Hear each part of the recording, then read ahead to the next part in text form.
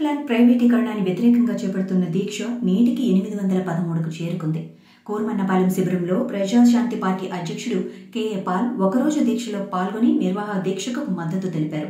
Visakha steel ప్లాంట్ను ప్రభుత్వ రంగంలోనే కొనసాగిస్తామని కేంద్ర ప్రభుత్వం వెంటనే వెల్లడించాలి. ముప్పై రెండు ప్రాణత్యాగాలతో ఇరవై ఆరు ఎకరాలు ఇచ్చిన నిర్వాసితులు ఎంతో మంది త్యాగాలతో తెచ్చుకున్న విశాఖ స్టీల్ ప్లాంట్ను అదానికి అంబానీకి ఇవ్వటం ఇవ్వటానికి సహించేది లేదని అన్నారు.